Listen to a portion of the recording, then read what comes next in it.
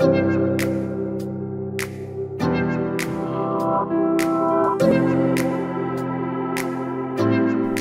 morning, it's Jason here, and today is Friday, May 22nd, and I hope you and your family are well.